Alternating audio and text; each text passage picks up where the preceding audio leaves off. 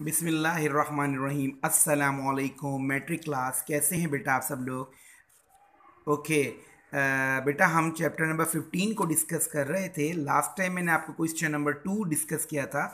आज हम question number three की बात करेंगे, जिसमें कहता है हमें यूज़ करना adjacent figure to find the following इसके अंदर देखिए हमें sine cos tan cot sec cosec तमाम के एंगल्स 45 दिए हैं, ठीक है? ये एक ट्राइंगल है A B C is a right angle triangle right angle triangle की अपोजिट साइड को स्मॉल सी से शो करेंगे. एंगल बी की अपोजिट साइड को स्मॉल बी से शो करेंगे. एंगल ए की अपोजिट साइड को स्मॉल ए से शो करेंगे. Okay okay? यहाँ पर इन्होंने ए की वैल्यू वन बी की वैल्यू वन एंड सी की value under root two okay बेटा? ये गिवन है आपको. अब अकॉर्डिंग टू दैट इन तमाम एलिमेंट्स की मदद से हम इनकी फिगर निकालेंगे. अच्छा हमने साइन थीटा कॉस थीटा और टेन थीटा सबके लास्ट टाइम मैंने आपको फिगर्स लिखवाए थे। देखें बेटा, इसी डायग्राम को मैंने दोबारा यहाँ पे बनाया। Exercise 15.1 page number 396 question number three सबसे पहले लिया साइन 45 साइन 45 मतलब साइन रेशियो क्या है बेटा इसका? परपेंडिकुलर अपॉन हाइपोटीनियस ओके अब हमने देखा जी परपेंडिकुलर की वैल्यू क्या है? बी के इक्वल है, ये वन इसकी वैल्यू परपेंडिकुलर की जगह लिखा हमने वन हाइपोटीनियस हाइपोटीनियस की वैल्यू क्या है हमारे पास? अंडर रूट टू इसकी जगह लिखा हमने अंडर रूट टू यानी sine forty five is equal to one upon under root two okay बेटा? अब नेक्स्ट अगर मैं क्वेश्चन दूसरा देखूँ, मेरे पास है कॉस फोर्टी फाइव अब मैं इसको सॉल्व करने के लिए क्या करूँगा? फिर मैं लिखूँगा कॉस फोर्टी फाइव ठीक है? Cos forty five cos forty five किसके इक्वल होगा? बेस अपॉन हाइपोटीन्यूस ठीक है जी? बेस कितना है बेटा? इसके अंदर अगर हम देखें बेस की वैल्यू वन हाइपोटीन्यूस की वैल्यू अंडर रूट टू इस तरीके से इसका आंसर होगा। अब क्वेश्चन टू से लेके सिक्स तक जो पार्ट हैं, यानी कि अगर मैं फिर दोबारा बात करूँ tan forty five cot forty five sec forty five cosec forty five इनकी वैल्यू आपने इसी तरह गेट करनी है। Question number three I think so clear बेटा? इसको सुन लीजिएगा। टॉपिक को बार बार आपको क्लियर हो जाएगा।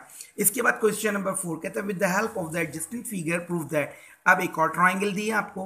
देखें ए बी सी इसके सामने स्मॉल सी इसके सामने बी के सामने स्मॉल बी बेसिकली एच लग रहा है बी है स्मॉल ए के सामने स्मॉल ए अच्छा हमारे पास ए को दिया उसने एंगल अल्फ़ा बी की जगह को एंगल दिया बीटा ओके अल्फ़ा और बीटा एंगल से काम ले रहा है। अब हमारे पास, जैसे क्वेश्चन नंबर वन देखें, बेटा गिवन है साइन अल्फ़ा यानी जब साइन अल्फ़ा होगा तो ये हमारा थीटा होगा, थीटा अल्फ़ा के तौर पे हम लेंगे। ठीक है बेटा? अल्फ़ा और 90 का एंगल है तो ये साइड बेस होगी। जब कॉस बीटा होगा तो अकॉर्डिंग टू बीटा हम इसको थीटा कंसीडर करेंगे और इसको लेंगे। अब देखिए, मैं इसको सॉल्व करके एक आपको दिखाता हूँ। पहली मेरे पास कंडीशन है, देखिए क्वेश्चन नंबर फोर के अंदर मैंने ट्राइंगल भी हाईलाइट किया आपको। Sine alpha left hand side पे लिखा है साइन अल्फ़ा अल्फ़ा यहाँ पर जब अल्फ़ा होगा तो ये साइड बेस होगी। थीटा के सामने वाली साइड परपेंडिकुलर 90 के सामने हाइपोटीन्यूस। ठीक है बेटा?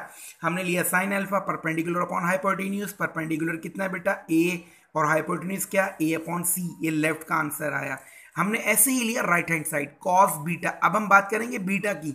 बीटा यहाँ पर है तो ये देखे मैंने ग्रीन से लिखा बेस ये बेस होगा। बीटा के सामने वाली साइड परपेंडिकुलर ये हाइपोटीन्यूस 90 का अपोजिट साइड अच्छा जी आपने लिखा cos beta base upon hypotenuse अब देखें बेस की वैल्यू क्या है? ए और हाइपोटीन्यूस की वैल्यू सी ए अपॉन सी अगर आप गौर करें लेफ़्ट का आंसर राइट का आंसर दोनों इक्वल हो गए, इसलिए हमने कहा प्रूफ इसी तरह टू से लेके सिक्स तक पार्ट ये आपको मैं टास्क दे रहा हूँ, इसके करेंगे आप। बिल्कुल सेम ऐसे ही। Two tan alpha cot beta बिल्कुल ऐसे ही लेंगे। Sec alpha cosec beta sine beta cos alpha tan beta cot alpha sec beta और हमारे पास बेटा कॉसेक अल्फ़ा ये आपने पार्ट इसी तरह करने। क्वेश्चन नंबर फाइव में कह रहे हैं फिगर हम यही यूज़ करेंगे बट क्वेश्चन हम थोड़े से चेंज कर रहे हैं। देखिए बेटा नंबर फाइव में पहला है हमारे पास cot alpha is equal to cos alpha upon sine alpha यानी कि हम एल्फा को बेस बनाएँगे एल्फा अकॉर्डिंग टू एल्फा हम काम करेंगे। ठीक है बेटा? अब मैं क्वेश्चन नंबर फाइव का एक पार्ट आपको सामने फिर डिस्कस करूँगा। अब आप गौर करें, देखिए question number five cot alpha is equal to cos alpha upon sine alpha हम लेफ़्ट लेंगे कॉट एल्फा कॉट एल्फा किसके इक्वल होता है? इसका रेशियो क्या है? बेस अपॉन परपेंडिकुलर अब हमने देखा जी बेस की वैल्यू क्या है? अल्फ़ा के लिहाज से बेस की वैल्यू है हमारे पास। ये बेस है ना कॉस के लिए बी और परपेंडिकुलर की वैल्यू क्या है बेटा? ए तो हमने क्या लिखा इसमें देखें बी अपॉन ए इसी तरह मैंने राइट हैंड साइड ली cos alpha upon sine alpha पहले लिखा कॉज एल्फा अपॉन का मतलब अपॉन डिवाइड मैंने डिवाइड लिखा साइन एल्फा कॉज एल्फा का रेशियो क्या है बेटा? Base upon hypotenuse divided by sine alpha का रेशियो क्या है? परपेंडिकुलर अपॉन हाइपोटेन्यूज बेस की वैल्यू बी अपॉन सी और परपेंडिकुलर की वैल्यू जैसे ऊपर डायग्राम से देखा ए अपॉन सी डिवाइड को मल्टीप्लाई में कन्वर्ट किया B upon C we know that कि डिवाइड के साइन के बाद वाली वैल्यू इन्वर्स होती है जब मल्टीप्लाई में कन्वर्ट करते हैं। मैथमेटिकली रूल मालूम है ना बेटा? कि जब डिवाइड के साइन को मल्टीप्लाई में करते हैं तो आफ्टर साइन वैल्यू इनवर्स होती है। सी अपॉन ए अब सी से C cancel B upon A आप गौर करें, देखिए बी अपॉन ए लेफ़्ट का और राइट का आंसर इक्वल हो गया। अब टू से लेकर टेन तक जो पार्ट्स हैं, ये बेटा अब आप लोग करेंगे। देखिए, इसी तरह क्वेश्चन नंबर फाइव के two three four five six seven eight nine ten part बिल्कुल सेम ऐसे ही ये प्रूव होंगे।